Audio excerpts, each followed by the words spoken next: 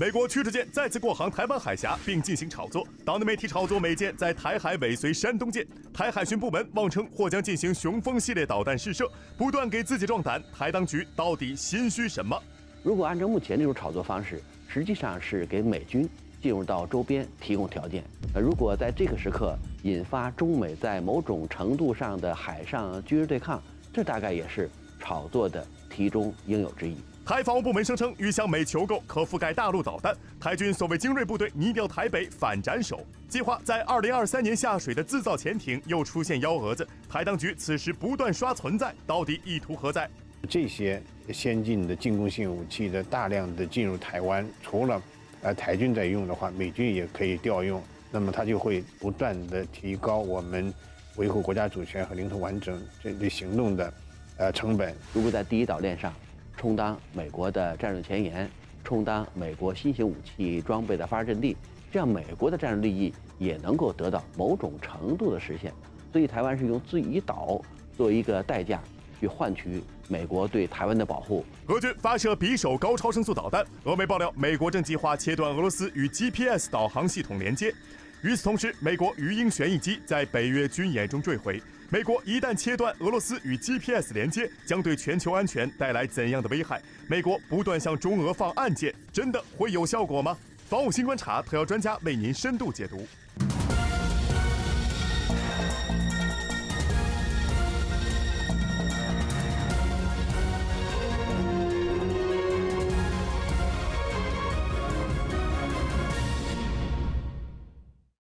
各位好，欢迎收看《防务新观察》，我是宁钊。近日，美约翰逊号导弹驱逐舰过航台湾海峡，并公开进行炒作，而岛内媒体也炒作称，解放军山东舰通过金门外海时，由美军驱逐舰进行尾随。具体内容，我们来看今天的第一个观察短片。东部战区新闻发言人施毅陆军大校表示，三月十七号，美约翰逊号导弹驱逐舰过航台湾海峡，并公开炒作。中国人民解放军东部战区组织兵力对美舰过航行动全程跟监警戒。美方此类挑衅行径，向台独势力发出错误信号，是十分危险的。战区部队随时保持高度戒备，坚决捍卫国家主权安全和地区和平稳定。此外，近日岛内媒体炒作称，解放军山东舰十八号通过台湾海峡，后方有一艘美军驱逐舰尾随。台防务部门还声称，解放军军机十八号进入台西南空域，共有两架次歼十一战机，一架直九反潜直升机。而近日，美国太平洋司令部空军司令威尔斯巴赫透露，美 F 三十五战机最近在东海与中国歼二零战机进行了所谓相对近距离接触，这是美国军方第一次披露中美隐身战机近距离接触。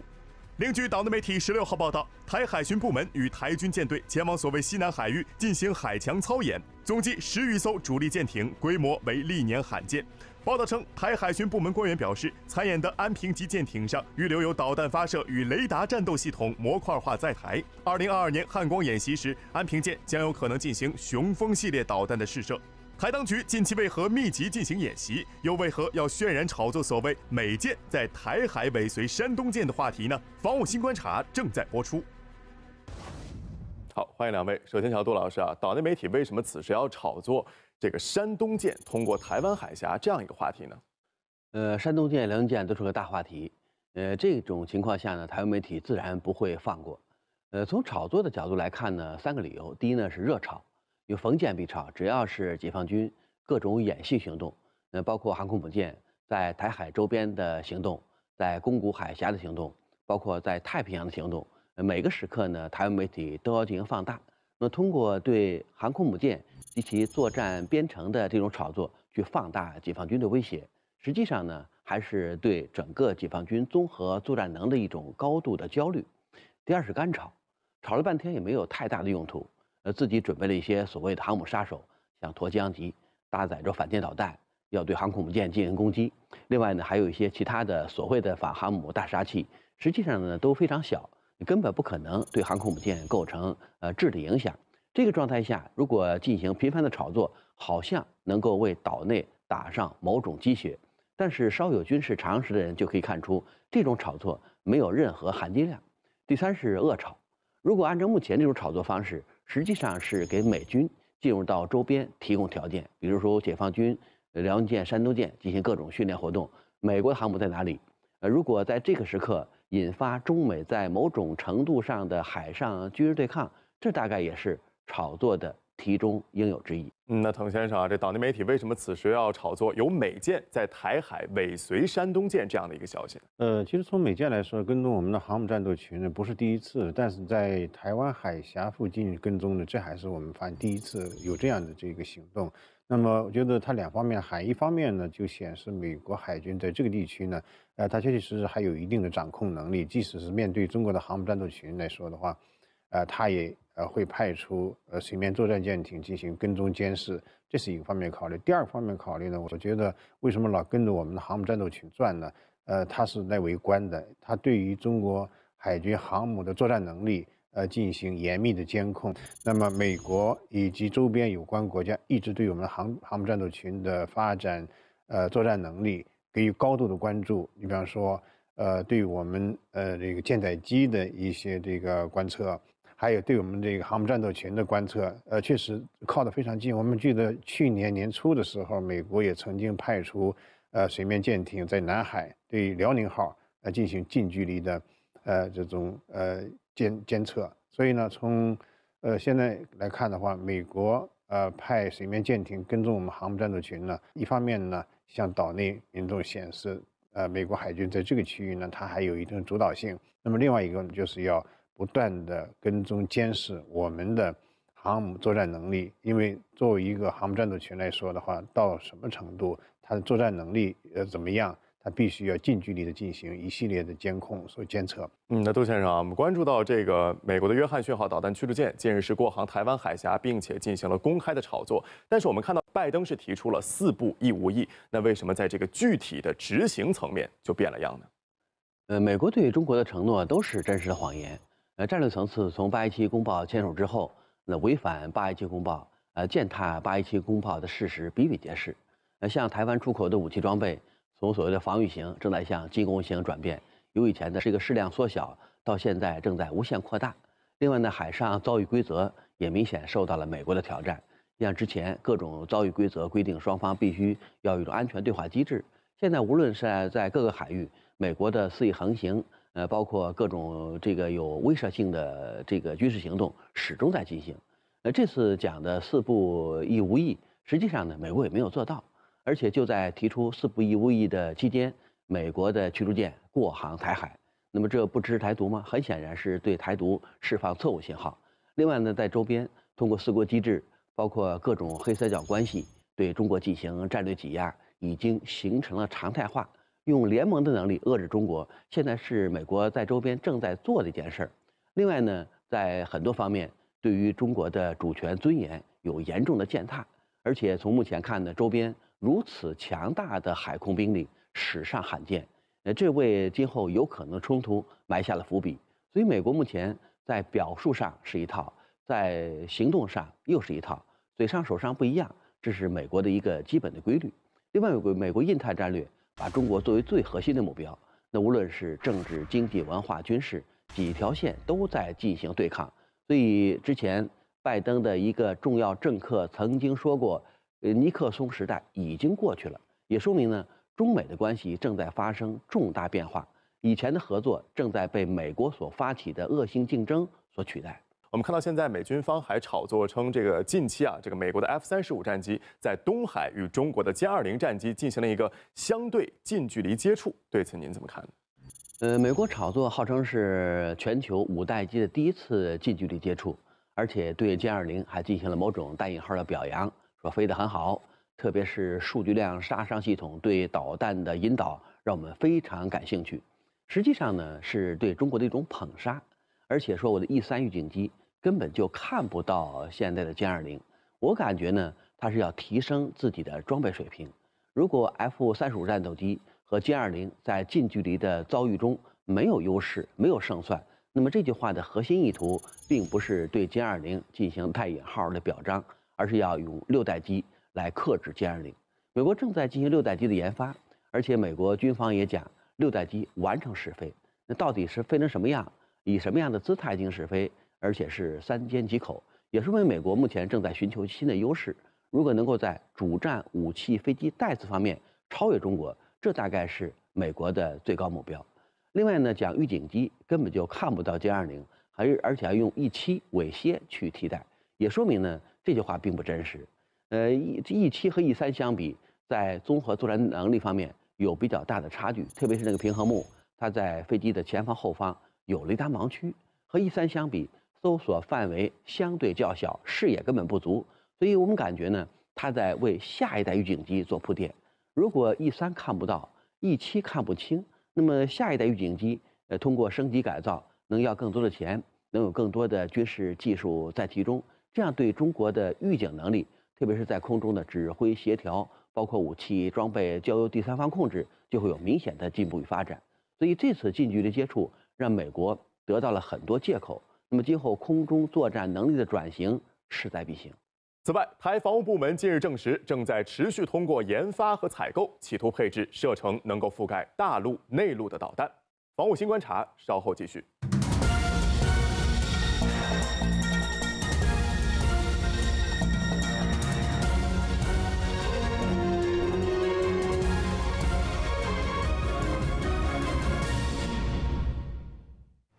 岛内媒体三月十七号报道，台防务部门官员建议，规划将隶属台军所谓特战指挥部位于金马棚三地的幺零幺侦察营全数移防到台北市，负责戍守淡水河，执行所谓反特攻及反斩首任务。但问题是，台军之前为了让特战突击艇驻防，已投入数亿元在金马棚三地兴建专用港勤设施及码头，这笔巨资或将打水漂。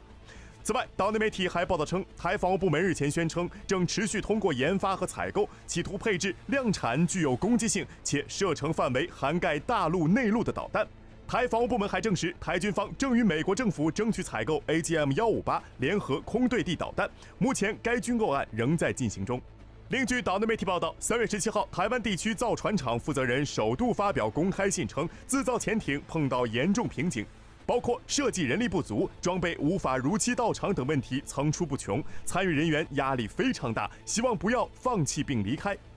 台当局此时渲染要研发和购买射程可涵盖大陆内陆的导弹，到底意图何在？台军所谓精锐部队为何此时要调往台北执行所谓反斩首任务呢？防务新观察继续播出。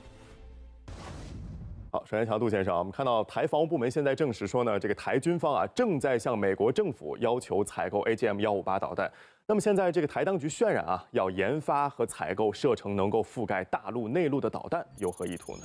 台湾呢也根据所谓的远程导弹计划搞了个雄升计划，那就是把雄风二 E 这种远程巡航导弹进行了加改装，而且今后要量产。主要目标呢还是呃模仿美国战斧，但是形成台湾版的一个老战斧，这样呢在低空。对目标进行攻击，突防能力、打击能力都会有一定的提升和发展。如果能够拿到具备一定隐身能力的 AGM 幺五八，甚至是 AGM 幺八的 C 型弹，今后呢，它会成为一个所谓的空战和海战体系。因为这款武器装备，呃，不仅可以空射去攻击舰艇，去攻击内陆的陆上目标，同时呢，还可以反舰作战。美国的远程反舰导弹就是幺五八基础上的一个网络版的导弹。如果台湾今后的潜艇，包括岸基发射装置以及呢水面舰艇，能够使用这种武器装备，对大陆目标进行攻击，那么至少与美国在武器装备上再次保证同行同代。所以总的感觉，台湾目前已经把自己和美国融为一体。如果在第一岛链上充当美国的战略前沿，充当美国新型武器装备的发射阵地，这样美国的战略利益也能够得到某种程度的实现。所以，台湾是用自己岛作为一个代价，去换取美国对台湾的保护，获取更多的新型武器装备和新型作战能力。那乔腾先生啊，美国一旦出售这种远程进攻性武器，您觉得会对当前台海的和平稳定带来怎样的危害？呃，从现在来看的话，特别在特朗普政府期间呢，他已经完全取消了过去只向台湾出售这个防御性武器，比方说 F 十六，就它是 A B，现在的话 F 十六 V 都过来了，现在又出售。呃，进攻性导弹显然呢，呃，他在向台湾出售武器方面呢，没有任何底线。呃，这一点来说的话是非常明确的。那从呃影响来说的话，我觉得至少有两面。第一个呢，呃，就是会给呃台湾岛内的分裂势力呢壮胆，因为一旦呃台军装备的这些进攻性的武器，比方说刚才讲的导弹，它可以瞄着呃大陆的一些重要目标，他认为可以以此为要挟来。呃动摇我们维护国家主权和领土完整的信心和意志，呃，这是一种这个给台湾呃鼓劲的呃一种这个行为。那么另外一方面呢，它会大幅度提高我们维护国家主权和领土完整的成本。呃，毕竟呢，我们现在看的话，美台之间的军事融合度是非常之高的。那么未来如果说在台海方面有冲突的话，我相信，呃，这些先进的进攻性武器的大量的进入台湾，除了呃台军在用的话，美军也可以调用。那么它就会不断的提高我们维护国家主权和领土完整这类行动的呃成本。但是不管怎么样的话，这些进攻性武器，我相信不会动摇我们的决心，我们的意志。所以，不管呃美国向台湾出售什么先进的进攻性武器，都不可能改变我们的立场，改变我们政策。杜先生，我们观察到这个台军所谓的这个精锐部队啊，近日是全数移防到台北市。那为什么所有的部队此时要移防到台北市，并且还进行了一个所谓的反斩首任务呢？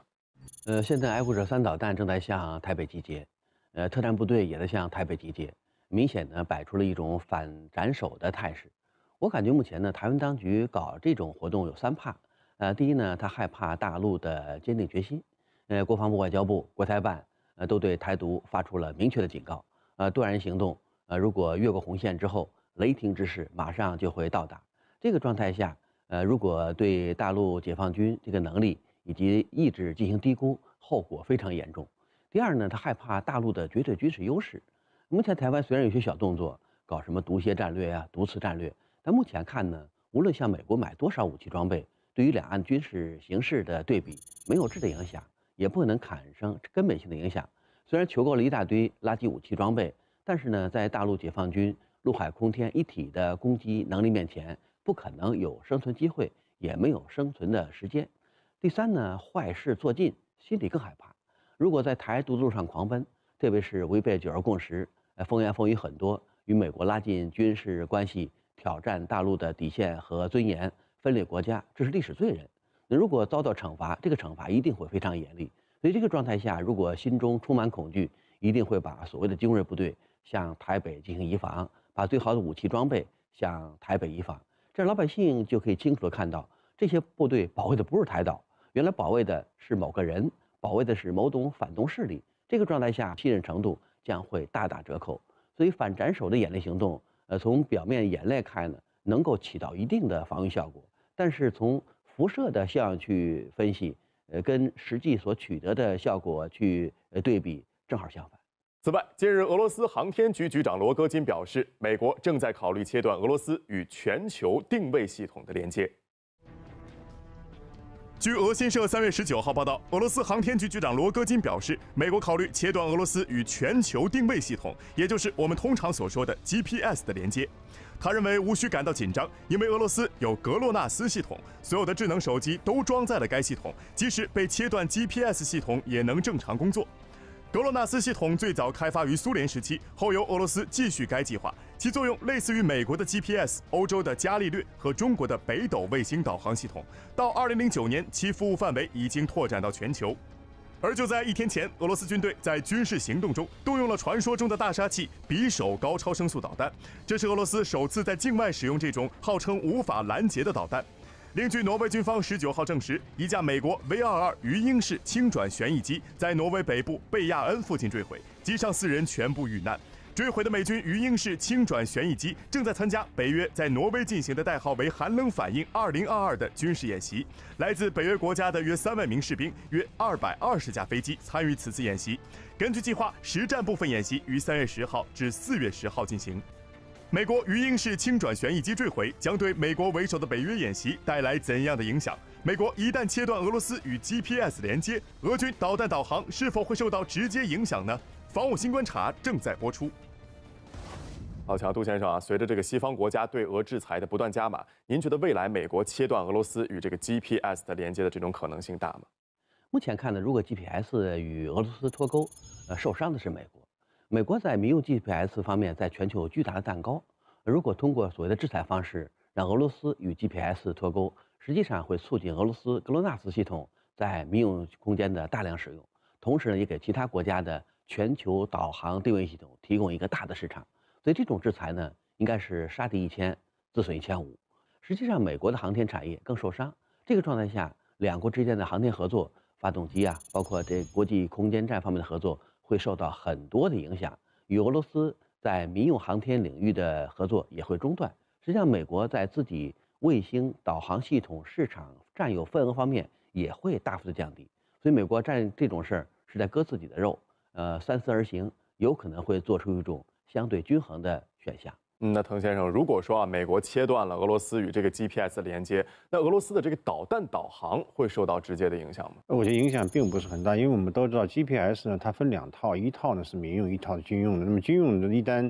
有冲突，特别涉及到俄罗斯的使用方面，它肯定会关闭的。所以它现在实际上已经处在一种关闭状态，不可能让俄军使用 GPS 来呃使用它的这个精确制导武器。另外呢，我们也知道。呃，精确制导武器呢，它是有多种这个制导的，不光是 GPS，还有什么卫星啊、地形啊，这都是匹配这样系统。呃，从俄罗斯角度来说的话，它本身也有格罗纳兹，那么这种呃一军一民的呃导航系统呢，对于俄军导弹呢，应该说是首选。呃，对于俄军来说的话，它的精确制导武器在平常的话，它也是反复的，至少几套这个制导系统。呃，在使用，它不可能是单独用一套，比方说光用 GPS，或者是光用呃欧盟的伽利略，或者是那个呃中国的北斗。那么这些的话，应该是一个综合使用的一个体系。那么只要其他国家其他呃方面不关的话，我相信加上自己的这种保障能力。它完全可以呃充分的保障自己精确制导武器的这个使用。那滕先生，我们看到现在美国除了明火执仗着来啊，对中俄也放出了不少案件，比如说诽谤中国对俄罗斯进行军事和经济的援助啊。那您如何看待美国现在的这种心态？我觉得两方面意思。第一方面呢，就继续抹黑中国，那么支持普京，支持俄罗斯，希望呢能够继续抹黑中国的。呃，做法。另外一方面呢，他也确确实实担心，一旦中俄两国联手的话，那么美国所有的政策可能都会呃遇到更大的挫折。嗯，其实这是完全由美国自身心虚的一种表现。你比方说，他的呃那个去年发表的全球态势评估报告，他也讲了要同时威慑呃中国和俄罗斯，他想着把两个大国同时一口吞掉，那么这个胃口你可见多大？那么，在今年发的印太战略报告当中，也讲了要联合，呃，这个盟国来同时塑造针对中国和俄罗斯的这样一个态势。那么，他其实在做这样一些跟中国、跟俄罗斯对抗的，呃，一些行动。但是，另外一方面呢，又想回过头来。呃，讨好这拉一方打另外一方，这显然呢，呃，是不合逻辑的。所以坊间就说了，他告诉普京说：“普京，你等着这样，我先把中国打打趴下，你别你别动，完了以后我回过头来再对付你俄罗斯。”这怎么可能？这三岁孩子都知道道理。嗯，那杜先生，同时我们关注到正在北极举行的这个寒冷反应二零二二大规模演习中，有一架鱼鹰发生了坠毁啊，您觉得这会带来什么影响呢？呃，美国本来想趁着俄乌冲突在挪威偷一只鸡。呃，结果呢，把鱼鹰变成了一只鸡，也是达到了美国的愿望。从目前看呢，如果在挪威进行大规模的联合演习行动，实际上还是借助俄乌局势所造成的集体恐慌，增加美国的这种战略主导能力。而且，如果在北约的北翼进行大规模的演练行动，实际上在告诉俄罗斯，呃，美国有可能开辟第二战场，而且通过对巴伦支海的各种防御行动，可以封堵住北方舰队。向北极、向太平洋，包括大西洋机动的全部路线，但是鱼鹰真不争气，因为这架飞机呢本来就问题多，在摩洛哥、在阿富汗、伊拉克，包括在日本的莫名其妙的坠毁事件频繁发生。美国用最高级的数学家算过，说这个发动机在转向过程中，由于下洗气流的不确定性以及呢地形条件的不确定性，会在短时间内出现动力丢失。这个状态和故障到现在无解，所以本来想通过鱼鹰，包括其他高级武器装备，给盟国打打气，然后让盟国向美国交更多的保护费，结果出现了严重的坠毁事件，而且造成了全部人员的死亡。我想这出惨剧会让所有的国家对美国所谓的绝对军事优势再打个问号。这里是防务新观察，感谢两位专家的分析，也感谢您的收看。想要获取更多的军事新闻，欢迎您登录中国军事网，或是关注中央人民广播电台中国之声国防时空栏目。我们明天同一时间再见。